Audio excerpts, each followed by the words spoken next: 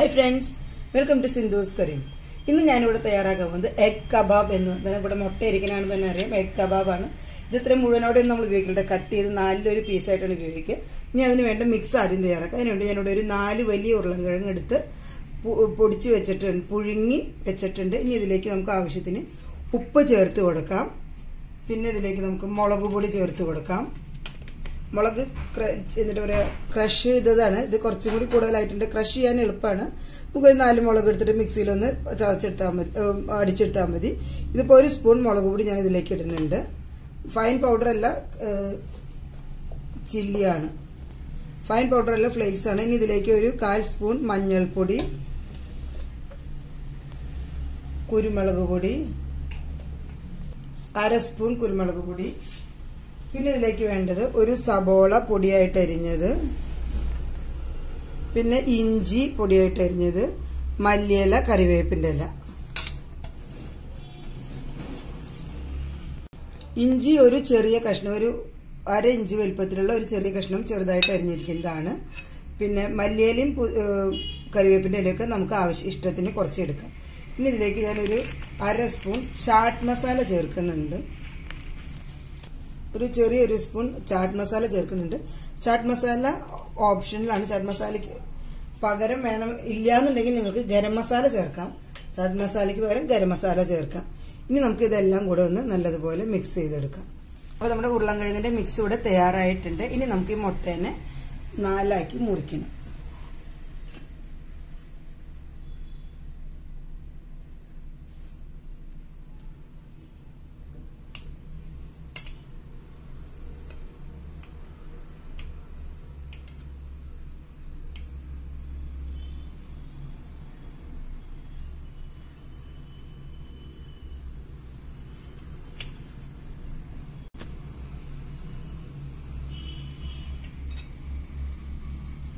അപ്പൊ നമ്മളുടെ മുട്ടയൊക്കെ ഇതുപോലെ മുറിച്ച് വെച്ചിട്ടുണ്ട്. ഇനി കയ്യിൽ ഇത്തിരി വെളിച്ചെണ്ണ ആക്കിയിട്ട് നമുക്ക് ഇതിനെ പരത്താം.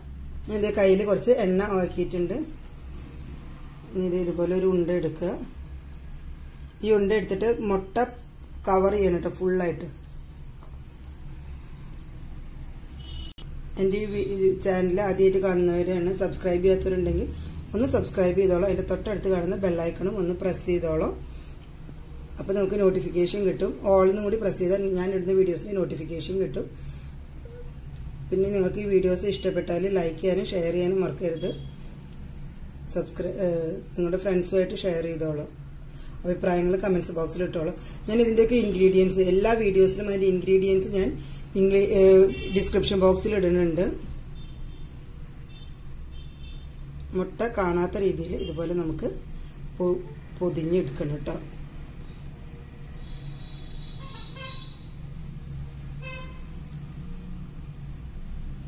അപ്പോൾ ആദ്യത്തെ ഇതായിട്ടുണ്ട്.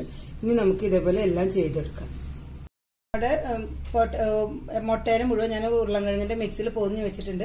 ഇനി അതിനെ നമുക്ക് മൈദയിലും ബ്രെഡ് ക്രംസിലും പൊതിഞ്ഞെടുക്കാം. അതിന് ഞാനിവിടെ കുറച്ച് മൈദ എടുത്ത് വെച്ചിട്ടുണ്ട്. അത് അങ്ങനെ കുറച്ച് നമുക്ക് എടുക്കാം. ആവശ്യമുണ്ടെങ്കിൽ രണ്ടാമത്തെ ഇതിലേക്ക് ഞാനൊരു പിഞ്ച് ഉപ്പിട്ട് കൊടുക്കുന്നുണ്ട്. പിന്നെ കുറച്ച് വെള്ളം ഒഴിക്കുന്നുണ്ട്. വെള്ളം നമുക്ക് കുറേശ്ശെ കുറേശ്ശെ ഒഴിച്ചിട്ട് നോക്കാം. ഇതിന്റെ കൺസിസ്റ്റൻസി നോക്കിയിട്ട് വെള്ളത്തിന്റെ ഇത് പറയാം. വെള്ളം ആവശ്യത്തിന് ഒഴിക്കുക. അത്രേ പറയാൻ പറ്റും. അപ്പൊ നമ്മുടെ മൈദയുടെ മിക്സ് ഇവിടെ തയ്യാറായിട്ടുണ്ട്.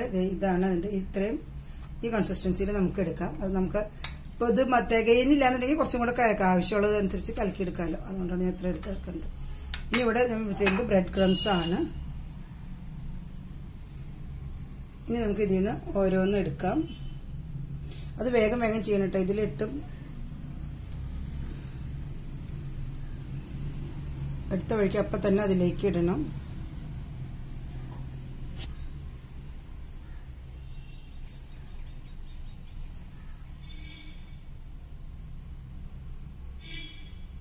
അപ്പൊ നമ്മുടെ ആദ്യത്തെ കബാബ് റെഡി ആയിട്ടുണ്ട്. ഇനി ഇത് നമുക്ക് എല്ലാം ഇതുപോലെ ചെയ്തെടുക്കാം.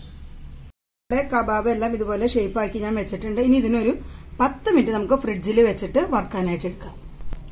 അപ്പൊ ഇത് പത്ത് മിനിറ്റ് ഞാൻ ഫ്രിഡ്ജിൽ വെച്ചിട്ടുണ്ട്. ഞാൻ കുറച്ച് ആദ്യം ഉണ്ടാക്കിയത് ആദ്യം ഫ്രിഡ്ജിൽ വെച്ചിരുന്നു. ഇത് പത്ത് മിനിറ്റ് ആയിട്ടുണ്ട്. ഇനി ഇത് നമുക്ക് വറക്കാനായിട്ട് ഒരു പാൻ അടുപ്പത്ത് വെക്കാം. അതിനായിട്ട് ഞാനിവിടെ ഒരു ചീനച്ചട്ടി അടുപ്പത്ത് വെച്ചിട്ടുണ്ട്. അതിലേക്ക് നമുക്ക് വെളിച്ചെണ്ണ ഒഴിച്ചെടുക്കാം. നമ്മൾ ഇഷ്ടമുള്ള ഓയിൽ കൊടുക്കാം. നമ്മൾ ഏതാ വർക്ക് ഉപയോഗിക്കണമെന്ന് വെച്ചാൽ അതെടുത്തിട്ട് വെക്കാം. അത് എന്നിട്ട് ഒരു വെളിച്ചെണ്ണ ചൂടായി കഴിഞ്ഞാൽ ഒരു ലോ മീഡിയം ഫ്ലെയിമിൽ ഇട്ടിട്ട് വേണം വറുത്തെടുക്കാനായിട്ട് കേട്ടോ ഹൈ ഫ്ലെയിമിൽ ഇട്ട് കഴിഞ്ഞാൽ അത് പെട്ടെന്ന് കരിഞ്ഞു പോവും. അതിനാണ് നമ്മൾ കരിയാതിരിക്കാൻ നമ്മൾ ഫ്രിഡ്ജിൽ വെക്കണത്. അപ്പോൾ നമ്മുടെ എണ്ണ ചൂടായിട്ടുണ്ട്. ഞാൻ ഫ്രിഡ്ജിൽ ഒരു പത്ത് മിനിറ്റ് വെച്ചതാണ്. അതെടുത്തിട്ട് ഞാൻ ഇതിലേക്ക് വറുക്കാനായിട്ട് ഇടുകയാണ്. ലോ മീഡിയം ഫ്ലെയിമിൽ ഇട്ട് വറുത്തോളൂ കേട്ടോ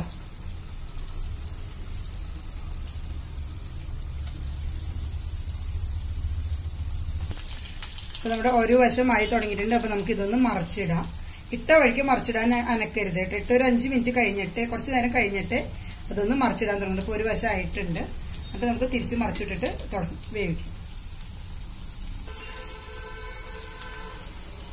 നമ്മുടെ കബാബ് ഒരു വശം മുരിഞ്ഞിട്ടുണ്ട്. രണ്ടാമത്തെ വശം ഇതുപോലെ ആയി തുടങ്ങിയിട്ടുണ്ട്. ഇനി നമുക്കിതിന് ഒന്നും കൂടെ ബ്രൗൺ ആയി കഴിയുമ്പോൾ നമുക്ക് എടുക്കാം ഗോൾഡൻ ബ്രൗൺ ആയി കഴിയുമ്പോൾ എടുക്കാം. ഫ്രിഡ്ജിൽ വെച്ചാലും പെട്ടെന്ന് അത് ഉള്ളൊന്നും കരിയില്ല. ഇതിലൊന്നും വേവാനില്ല. പൊട്ടേറ്റോ പുഴുങ്ങിയതാണ്. പിന്നെ നമ്മുടെ സബോളയും സാധനങ്ങളുള്ളത് ഇതിന്റെ ഉള്ളിലും മുരിയ വേവാനൊന്നുമില്ല. എന്നാലും ഒരു നല്ല കളർ മാത്രമേ ഇതിന് വരുന്നുള്ളൂ. അപ്പൊ നമ്മളുടെ കബാബ് തയ്യാറായിട്ടുണ്ട്. ഇത് നല്ലതുപോലെ മുരിഞ്ഞിട്ടുണ്ട്. ഞാനിവിടെ ഒരു ടിഷ്യൂ പേപ്പറിലേക്ക് എടുത്തിടുകയാണ്.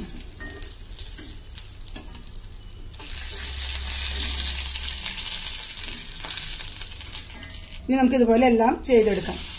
ഞാൻ ഉണ്ടാക്കിയതിൽ കുറച്ചാണ് ഫ്രിഡ്ജിൽ നിന്ന് പുറത്തെടുത്തിട്ടുള്ളൂ. ഫ്രിഡ്ജിൽ നിന്ന് പുറത്തെടുത്താൽ അപ്പം തന്നെ എടുത്ത് വറക്കണം കേട്ടോ അപ്പം നമ്മുടെ എഗ് കബാബ് ഇവിടെ തയ്യാറായിട്ടുണ്ട്. ഇത് വെക്കുമ്പോൾ തന്നെ നിങ്ങൾക്കറിയാം നല്ല കരികരിപ്പ് ഉണ്ട് ഇതിന്. നല്ല ക്രിസ്പിയാണ് നല്ല ടേസ്റ്റും ആണ് കേട്ടോ കുട്ടികൾക്ക് സ്നാക്സ് ആയിട്ടും പാർട്ടികൾക്ക് സ്റ്റാർട്ടറായിട്ടൊക്കെ വയ്ക്കാം കുട്ടികൾക്ക് വെറുതെ ഇരിക്കുമ്പോൾ കഴിക്കാനൊക്കെ കൊടുക്കാൻ നല്ലതാണ്. മുട്ടയും ഉരുളൻകിഴങ്ങും ആയതുകൊണ്ട് വളരെ നല്ലതാണ് ടേസ്റ്റിയാണ് Bye. Thanks for watching.